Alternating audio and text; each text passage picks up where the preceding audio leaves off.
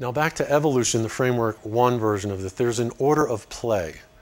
And this is very interesting. And Teilhard de Chardin, a paleontologist, a geologist, and a Catholic priest, uh, did science and was relegated to Siberia where he did brilliant work and it was unpublished until after his death and it's had a large effect in postmodern thinking. And in fact, he called it a geosphere. I've put this in here to represent the physical elements. He was a geologist, so, you know, and this comes from traditional, even pre-modern, you know, we have the mineral world, we have the vegetable world, we have the animal world, and then we have the human world as an order of play in evolutionary terms. And so this kind of fits to that. The physiosphere is just all uh, quantum fields, all molecules, all chemicals, with no reproductive life. As soon as reproductive life happens, soon as cellular life that can reproduce happens, we now have a biosphere that's emerging in framework one terms only. Framework two, when you talk to these dead guys, as we call them, it's, it's very zen and they're coming from a simultaneous perspective and they are frustrated by our linear thinking and they're always trying to get us into a nonlinear frame of mind. And yet both are appropriate here in the proper context. So this is standard linear, even modern thinking. But I believe it's accurate in framework one terms. So cellular life, basic life forms, plant, and then animal, and you get up to sophisticated limbic systems, nervous systems, before the focus personality can manifest in framework one constructions. Then we have a noosphere. This is now a new quality, a new emergent quality. So this is an interesting order of play that current modern and postmodern evolutionary theory is more or less consonant with. So that's an interesting thing we're going to come back to. Now, Seth's creation and reading the Seth material and trying to plug it into standard linear thinking, of course, doesn't work, and you'll, you'll come into all sorts of problems. However, I tried, and, and, and it's worth the exercise of doing that and, and finding where you fail with that. But there is a similar order that you can tease out of it, but it's very thin, you know, that he does say there is an order, but he's also talking about the dream walkers. He's talking about all of this existing elsewhere before the beginning, and that early man in dream bodies he calls sleepwalkers. And in Elias's continuation or expansion, he calls them dream walkers. Chris calls them dream ancestors. The Aborigines, I believe, call them dream ancestors also. Uh, the Aboriginal creation myth, by the way, is startlingly similar to the Sethian and Elysian and Christian creation myth. So, so there's an order of play in framework one, but we're in this simultaneous kind of wrestling with non-physical, involutionary, metaphysical concepts. And we're trying with this integral map to situate all of them, give them their play. They are contradictory on different levels. But part of this integral theory allows us to situate contradictory elements and not say, well, this contradicts, so we have to get rid of it. We, we keep it up here, and we, we keep it up there as long as we can. Thus, conscious creation more accurately applies to any, in my opinion, modern or postmodern body of work that explores simultaneous action of involution, evolution, and physical, subtle, and causal fields. However, we can define that, and, and this is general enough, you know, that we can distort the hell out of it and, and kill it. So a lot of stuff can get plugged in at this point. Now this chart is interesting because it, it's worth a thousand words. I'll take three minutes and try and summarize. This, this I got from, uh, I need my pointer. It's uh, in that front cover by the red folder somewhere laying horizontal. This, this kind of includes the states. If we think back to that scale, that aqua, those five parts of consciousness, this includes the, the states and it, and it proposes that these are different fields. I'm using a field analogy, and someone will criticize me for that because it's too materialistic speaking. But I, I like this symmetry here of causal, subtle, physical. And notice the arrows go both ways. So it's blinking in, blinking out, white hole, black hole.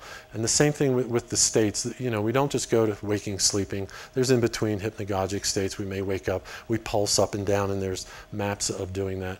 Which is interesting in dream research that uh, in the 1950s, when they were finally able to map the, the dreaming state and, and empirically, materialistically map it, suddenly dreams were real. Up until then, they were not real.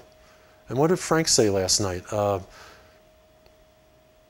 he, he cited something early in his talk about a medical body and something was not considered real. It was con- oh, thoughts of good health were considered pathological.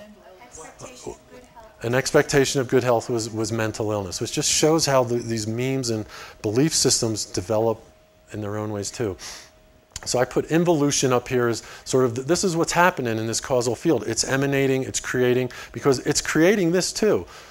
All of this, you know, is also this simultaneous frothy mixture of things.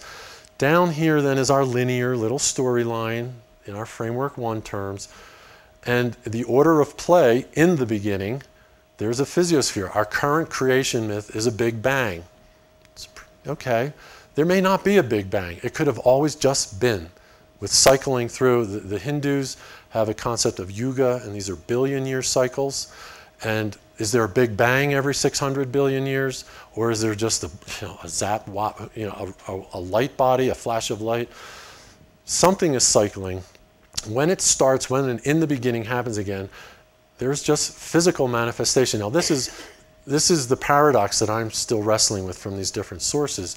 But if I, the only thought experiment I've been able to come up with is if I have a video camera there, what am I measuring? And it's clouds of gas. And billions of years go by before hydrogen and oxygen even start to emerge from the birth and death of stars to then form planets and other bodies of material. So this physiosphere goes on. Actually, this line would you know shoot out to Jupiter to show the actual linear time scale involved in just physical matter being around. And yet simultaneously, according to our ghosts, all these things are waiting to emerge. They're, it's inherent. And this order of play, then, you have to start with self replicating life somehow. You've got to have plants before you can have animals to feed off the plants, before it will support dinosaurs of large size and human beings. At least it makes sense. And then the noosphere, focuses of essence emerge from this. So what, what's in this part though? You know, there's, there's hominids. There are walking apes, but they, they are not focuses of essence yet. And this is something we can at least think about. When, when is that part of, you know, the animal is, is a very complex thing. It has a limbic system, emotions, proto-emotions, feeling flight or fight. And, and it's driven by instinct. And this is where Seth, talking about early man and nature, personal reality is interesting too, and how natural guilt and, and the sense of violation emerged early on. And again, then down here, this pre-modern line goes way back. It, it, could go back hundreds of millions of years. It could go back billions of years. And so modern, postmodern, these are just recent little things that we can relate to, that we have evidence to look at. But it's a big picture, and we don't know anything. and we have to admit that, and then come back to the next slide. So we say it's true but partial. We acknowledge that. We say that up front. We're not selling this and promoting this story as our version. Well, it is our version of it, and take it or leave it, and, and together we can see, see what differences, critiques we have, and jointly move together with that. A, a weakness of the pre-modern tradition is that they have no understanding of evolutionary theory. It's just not there in their thinking. Um, is this more complex? Is this more superior? According to this, it is. It's, there's greater complexity involved in the understanding of evolutionary processes. Is it better or worse? I don't think so. It's more complex or less complex. And, and there's a lot of interesting uh, debates and controversy in, in those areas. Uh, Yeah, okay, that's just, that's documenting some of, you know, there, there's thinkers, there's scholars, there's a lot of work out there that, that sort of supports the outline of this. Postmodernism, I think by definition, is attempting to bring consciousness with a capital C, present in the pre-modern worldviews, back with that differentiation, integration, action, while acknowledging the advances and limits of modern science. When we combine an integral approach with the previous definition of, of conscious creation, universe is multiverse, involution, evolution, then we get integral conscious creation. That's sort of what it's starting to look at. In short, integral conscious creation applies the checks and balances of an integral approach to any conscious creation source to help mine its many gems. And then this is just some propaganda, why it's really great, and I won't bore you with it. You can go to the next slide. And it's a little bit more. One, one thing I like too is that the intent of this is to help demystify and legitimize the channeling phenomenon, particularly which is something near and dear to all of us who are into Seth and, and other sources. And the bottom line, it doesn't reek of scientism, New Age, religious woo-woo, Sethism, Eliasism, Chrisism. The ism that, that I realize it is, is integralism. There is an ism here. And we have to be aware, you can't get away from it. Uh, ideology, there's always going to be some ism. So what I'm, you know, what this, these proponents are saying is integralism solves more problems that these earlier systems can't.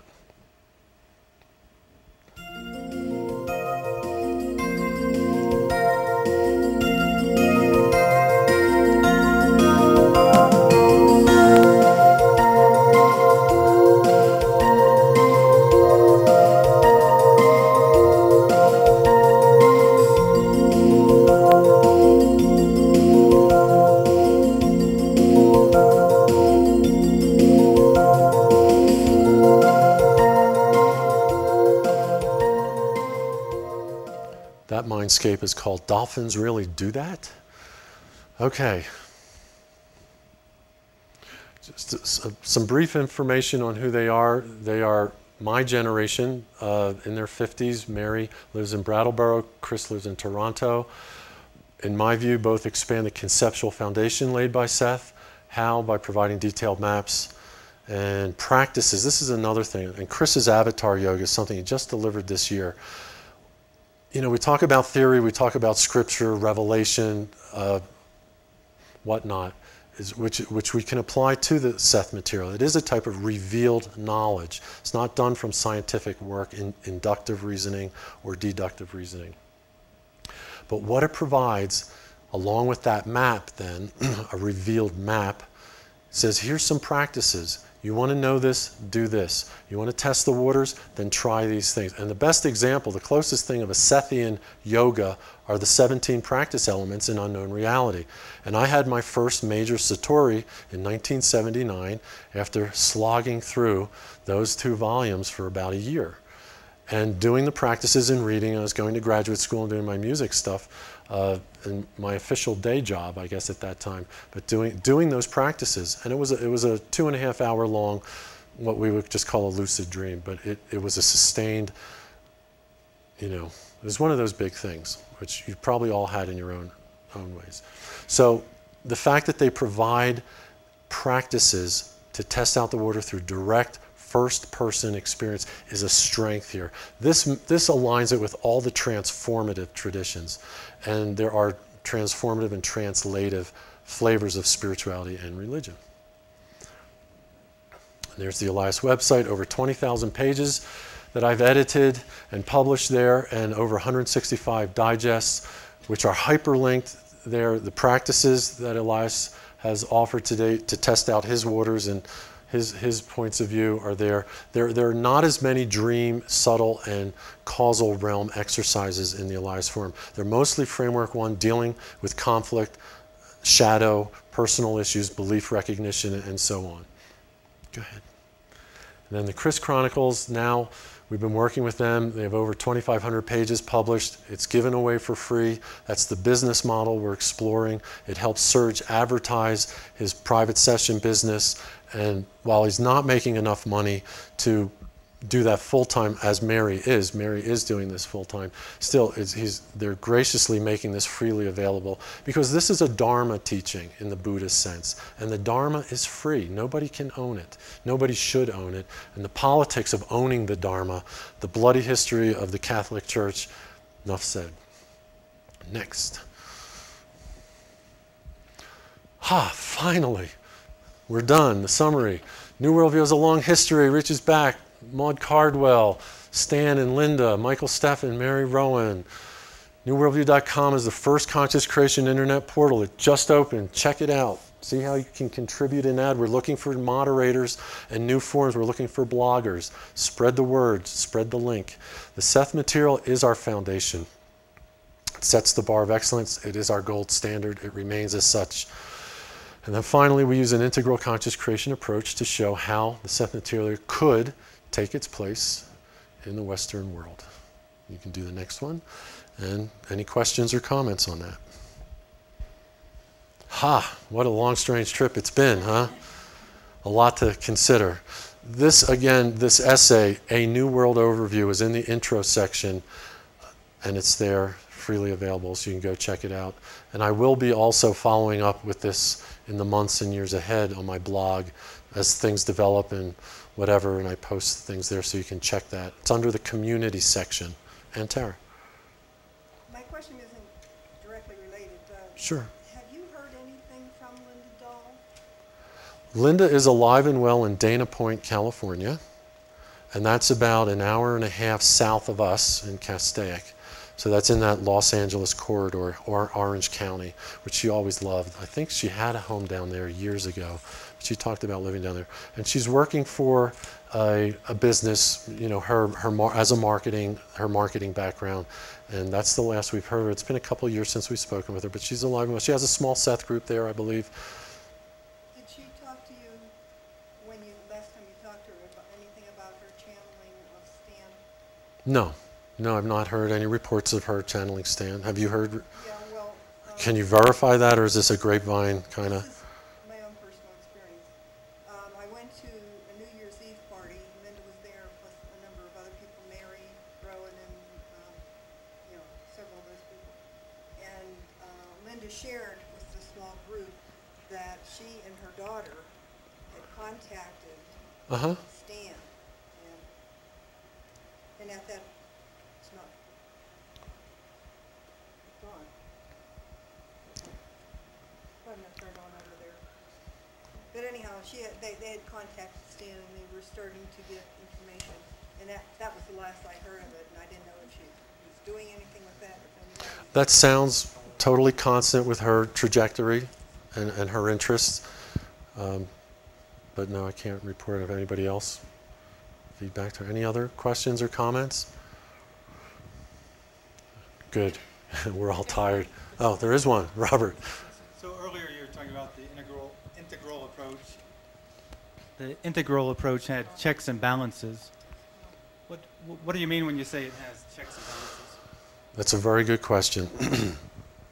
I, I can't I can't give a simple answer, but I'll try and see how good I do. This is really this really is the first time I presented this publicly and spoken about it. So it's all all good constructive feedback that I'm getting on this. In those quadrants, the quadrants, there's an inside and an outside to each quadrant. So there's eight fundamental methodologies. And according to this theory, you have to include these eight perspectives to be balanced, comprehensive, and integral. It- Ken Wilber's amps go up to 11. It's one more than anybody else's. And whether it succeeds or fails, we don't know yet. As a theory, it, it looks promising, but how many theory, promising theories end up on the garbage heap of history? This may, I believe, some modified form, but the methodologies that come out of it provide the interiors. We want to get an interior view. We want the exteriors. We don't want a purely materialistic or an idealistic approach to these things. We want interior and exterior together, individual, collective angles. Do you ever feel odd trying to view what to me seems there's a much larger psychological or spiritual universe and trying from the small framework of the physical universe to, to take that all into account? It, it seems like you, know you have a, uh telescope, but you're looking in the wrong end to It's a fundamental paradox of being a focus in framework one. And those kinds of paradoxes, though, mean we're getting closer at times. But yeah, I mean, this is just a map. The map is not the territory. We leave all these maps behind as we open into the silence of what is just this, always. It's that simple, ultimately. And yet, here I am in this body that has needs and urges and desires and whatnot, and I have to attend to those in relation to all of you attending to yours. So it's a magnificent little drama we've created, right? But this is, a, again, an attempt at integrating the fragmented modernity, you know, and you can even argue that, and others do, that it's gone quite pathological, it's gone quite into the shitter, as we might say.